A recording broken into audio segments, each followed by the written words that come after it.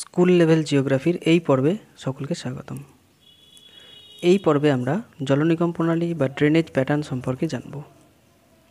তো ফার্স্টেই জেনে নিই জলনিগম প্রণালী বলতে আমরা কি বুঝি?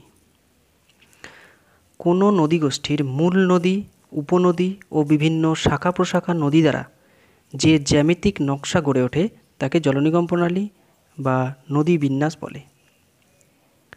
এই জলনিগম প্রণালীর আকৃতির তারতম্য অনুসারে জলনিগম প্রণালীকে মোট এগারোটি ভাগে ভাগ করা যায়।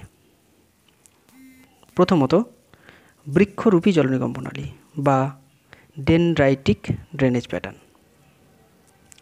আর্দ্র জলবায়ু অঞ্চলে ডালপালাযুক্ত গাছের আকৃতি বিশিষ্ট, যে জলনিগম প্রণালী গড়ে ওঠে তাকে বৃক্ষরূপী জলনিগম প্রণালী বলে।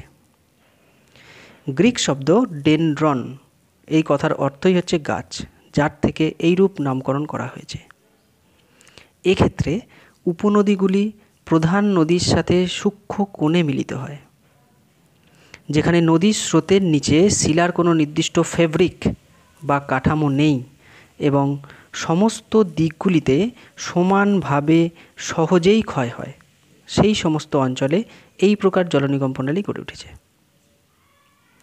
উদাহরণস্বরূপ, গ্রানাইট, নিস, আগ্নেয়গিরির শিলা এবং ভাঁজ না হওয়া পাললিক শিলায় এই নদী নকশা গড়ে ওঠে।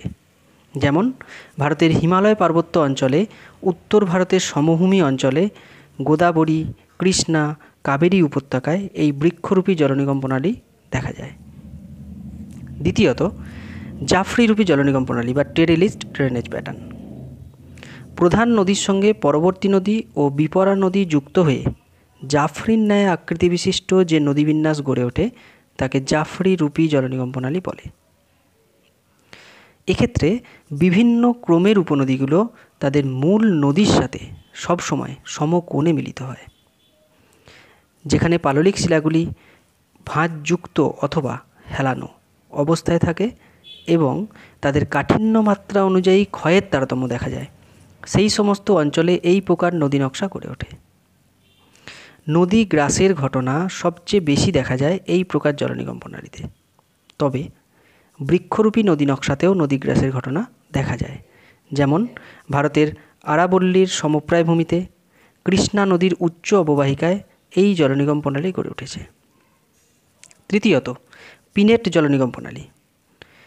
যখন কোনো অববাহিকায় মূল নদীর দুই পাশে অসংখ্য ছোট ছোট উপনদী অত্যন্ত ঘনভাবে থাকে, তখন পাখির পালকের অক্ষদণ্ডের দুই পাশে থাকা অসংখ্য নদী রোয়ার মতো দেখতে, যে নদী নকশা গড়ে তোলে তাকে পিনেট বা চুনট আকৃতির জলনিগম প্রণালী বলে।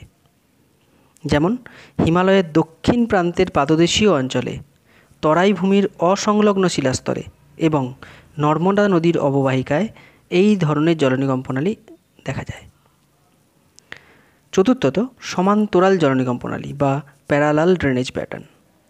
যে নদীবিন্যাসের নদীগুলি সরল রেখার মতো ভূমির ঢাল অনুসারে পরস্পর সমান্তরালে প্রবাহিত হয়, তাকে সমান্তরাল জলনিগম প্রণালী বলে। এই সমান্তরাল জলনিগম প্রণালীর ক্ষেত্রে দুটি নদীর মধ্যবর্তী অংশে সুস্পষ্ট জলবিভাজিকা গড়ে ওঠে। যেমন, ভারতের পশ্চিম উপকূলীয় তটভূমিতে কিংবা ছোটনাগপুর মালভূমির প্রান্তদেশে এই ধরনের নদী নকশা দেখা যায়।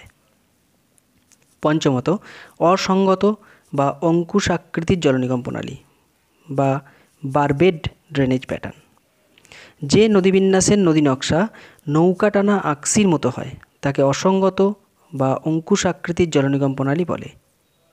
ইহা সাধারণত নদীর উৎস অঞ্চলেই গড়ে ওঠে। যেমন ছোটনাগপুর মালভূমি এবং কর্ণাটক মালভূমি অঞ্চলে এই ধরনের জলনিগম প্রণালী দেখা যায়।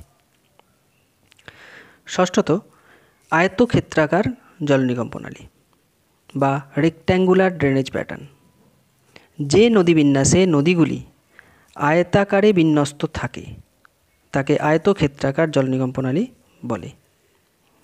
এক্ষেত্রে প্রধান নদী ও তার উপনদীসমূহ উভয়ই সমকোণে মিলিত হয়। যেখানে খুব কম টোপোগ্রাফি বা ফ্র্যাকচার বা ত্রুটি আছে, সেই সমস্ত অঞ্চলেই এই ধরনের নদী নকশা দেখা যায়। যেমন ভারতের বেতোয়া ও সোন নদীর অববাহিকায় এই ধরনের জলনিগম প্রণালী গড়ে ওঠে। কেন্দ্র বিমুখী জলনিগম প্রণালী। যে নদীগুলি দণ্ডের ন্যায় বা সরল রেখার মতো চক্রাকারে কেন্দ্র থেকে বাইরের দিকে প্রবাহিত হয়, তাকে কেন্দ্র বিমুখী জলনিগম প্রণালী বলে। যার ইংরাজি রেডিয়াল ড্রেনেজ প্যাটার্ন। এক্ষেত্রে আগ্নেয়গিরিগুলি দুর্দান্ত রেডিয়াল নিকাশি প্রদর্শন করে। এছাড়াও গম্বুজ, ল্যাকোলিথের উপরেও এই ধরনের নদী নকশার বিকাশ হয়। যেমন পরেশনাথ পাহাড়ের চারপাশে এই ধরনের জলনিগম প্রণালী দেখা যায়। কেন্দ্রমুখী জলনিগম প্রণালী বা সেন্ট্রিপিটাল ড্রেনেজ প্যাটার্ন।